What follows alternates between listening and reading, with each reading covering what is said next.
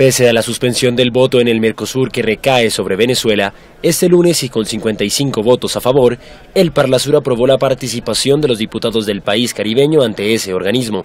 Los diputados de Parlasur de Argentina, Brasil, Paraguay, Uruguay y Venezuela manifestaron al Consejo del Mercado Común su recomendación al bloque regional en torno a la participación venezolana.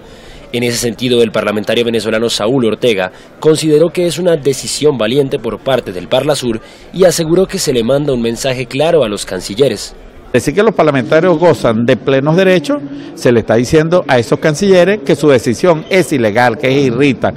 Por otra parte, el diputado por la Mesa de la Unidad Democrática Venezolana, Emilio Rondón, valoró el respaldo y los buenos oídos de la comunidad internacional al tiempo que denunció el acoso al que, a su juicio, han sufrido los políticos opositores al gobierno de Nicolás Maduro. Que conozca la comunidad internacional a la cual le agradecemos la solidaridad que ha manifestado hasta ahora, porque hemos tenido el respaldo, los buenos oídos de las organizaciones de Estados Americanos, de la Organización de Naciones Unidas. Hemos planteado nuestras eh, circunstancias en el Parlasur, hemos planteado nuestras circunstancias en el Mercosur, hemos planteado mm, nuestro drama en la UNASUR y mm, recientemente lo hicimos ante la Unión Europea. Durante esta sesión también se aprobó realizar un llamado al gobierno de Venezuela para permitir la participación en las actividades del Parlasur y su libre circulación por la región de tres diputados de este ente afines a la oposición venezolana, a los que les fue retenido y anulado el pasaporte.